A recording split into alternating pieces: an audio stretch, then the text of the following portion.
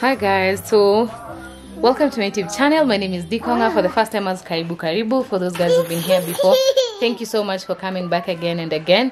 Yeah, so I've started off this vlog because a number of moms asked me to show them how I do my baby's hair. Yeah, so I've been making my baby's hair because anytime she's going to the salon, she gets bumps on her head. So her scalp just gets irritated and then she's uncomfortable. She's always screaming. So sometimes naskilianga huo salonist uh, nini like the hairstylist vibaya like cause it's a struggle.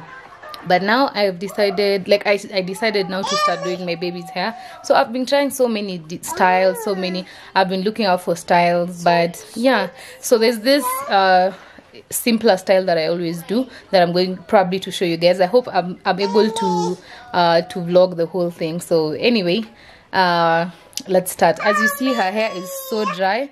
Kwanza nywele yake ilikatika huku mbele. I need someone to to tell me, mommy, mpe mpe tu.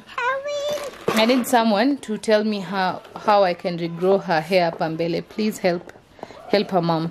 Ilikatika and it's not the bladder it's a long story. Anyway so i'm going to make her beautiful kinky hair. Let's start. These are the things that i need. Let me show you. So mostly i use okay i've never used this detangler before. I usually use the yellow one. It's called what nimesahau product. Alafu of course i definitely need this kichana. Definitely. And i'm doing it in my living room so please.